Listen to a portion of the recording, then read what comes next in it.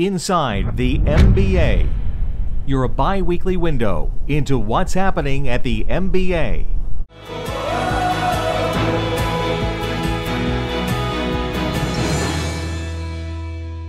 Hi, I'm Rob Van Rapport. Welcome to MBA Now. We are at CREF 18 in San Diego, California, and uh, with me today is Steve Case. Steve, thanks so much for being here. Great to be with you. So we just heard a little bit about your book, The Third Wave. Uh, can you explain a little bit about what that is? It's really the, the next big wave of the internet. The first wave was getting everybody connected. Yeah. Companies like AOL 30 plus years ago were trying to eh, educate people about why they should get connected, build the on-ramps to connect them. That was sort of the first wave, you know, 85 to 2000 roughly. The last, you know, 15, 20 years has been the second wave of the internet, really building apps and services on top of the internet, Facebook and Twitter, right. things like that. The third wave is really integrating the internet throughout our lives and changing healthcare and education, energy, transportation, food, agriculture, really big sectors of the economy that haven't changed all that much in the first and second wave, but will change a lot in, in the third wave. Yeah, we see technology just booming right now. It's, it's bursting at the seams. You know, in the next decade, what do you see as the top sort of technological developments that will really impact everything?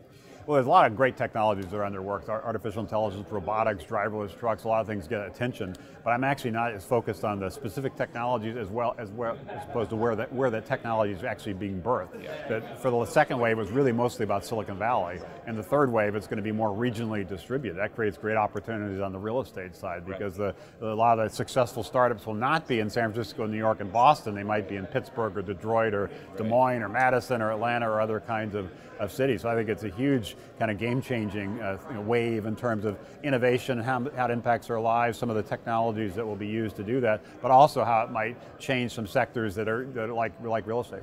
So from an entrepreneur's point of view, I mean, suddenly, certainly you know a lot about it. What are, what are key characteristics that you need to look for when you're looking for a technological partner?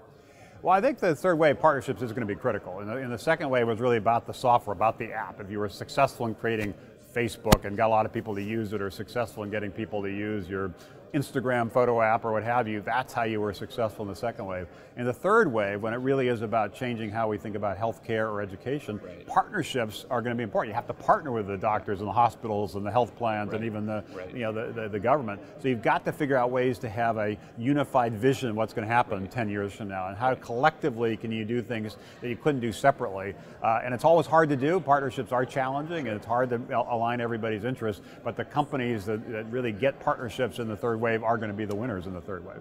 Fascinating insight. Uh, we really appreciate you stopping by, talking a little bit about the third wave and what you see for the future. Thank you. Great.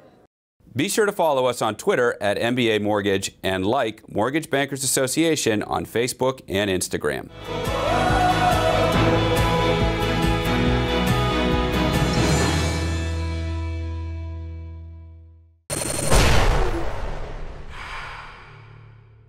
This is Mortgage News Network.